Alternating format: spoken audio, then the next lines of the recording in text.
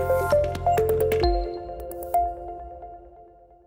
Primeras declaraciones en Viva la Vida de Olga Moreno, después de la inesperada aparición del mañagueño Antonio David Flores, con Marta Riesco, en el centro de Madrid, donde no solo se los vio anoche cenando en un restaurante argentino, sino que además, hoy se los vio en la calle juntos después de una sesión de masajes. Y a quien repercute esto directamente es Olga Moreno, donde ya una procesión de periodistas se instalaron en su casa de Málaga, el punto de encuentro de toda la familia Flores, Moreno, y donde Olga Moreno hizo unas primeras declaraciones declaraciones, tras toda esta exposición innecesaria de Antonio David Flores, con riesgo. Recordad que puedes suscribirte, comentar y activar la campanita, para no perderte ninguno de nuestros contenidos y estar informada de todo lo que pasa, antes de que pase. Ingresando en su camioneta, Olga Moreno le envió un gesto de beso a los periodistas, que, valorando su trabajo, les envía afectuosamente. Pero lo fuerte se viene cuando Olga baja de su coche acompañada de una de sus mejores amigas y antes de subir a la casa familiar, hace un gesto de saludo a los periodistas, dejando abierta la puerta de que si esta situación continúa, Olga Moreno bajara a hablar con los periodistas, para dispersarlos y no tener que tolerar dos semanas nuevas de acoso mediático en la puerta de su casa, sumadas a la semana y media de Pascua donde los periodistas se anclaron en Málaga esperando el más mínimo movimiento de Olga, e incluso parándose muy lejos de la tienda de Olga, para grabarla con cámaras avanzadas donde hasta incluso llegaron a leerle los labios, sacando todo tipo de disparatadas conjeturas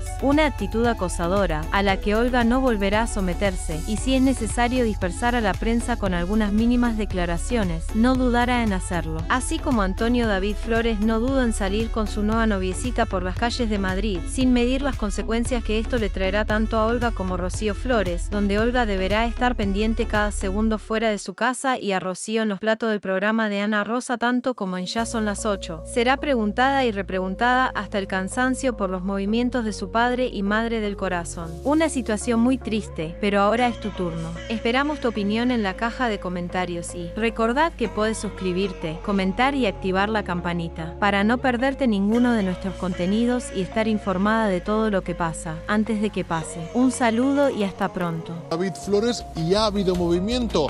Ya sabemos cómo ha pasado Olga Moreno, un segundo que me están llamando al retorno, Emma, que habíamos perdido la conexión. Ahora, ¿me escuchas, Emma? Yo perfectamente, te veo y te escucho. Vale, muchas gracias, perdona, Emma. No, eh, eso, continuamos aquí en la casa de Antonio David Flores y vosotros tenéis allí pues la reconciliación, el masaje, el restaurante y aquí está pues la otra cara de la moneda, Olga Moreno.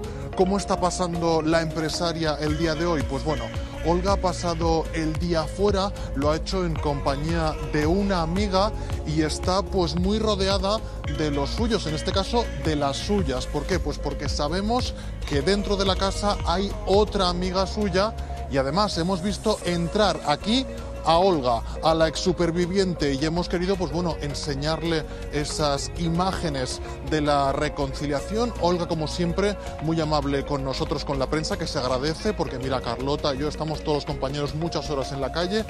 Muy amable, le hemos pedido que nos hiciera un gesto para ver cómo estaba. Además, hemos podido hablar con ella fuera del coche, así que estamos seguros de que ya tiene la información de que se han reconciliado su todavía marido y la reportera. Así que yo creo que no nos queda otra que ver las palabras de Olga Moreno. A ver qué ha dicho. ¿Cómo estás? ¿Sabiendo de reconciliación? ¿Nos puedes hacer un gesto? Vemos un poco seria. Manda un beso Olga. ¿te podemos hacer unas imágenes que han subido Antonio David con Marta Riesco? Hasta luego, Olga.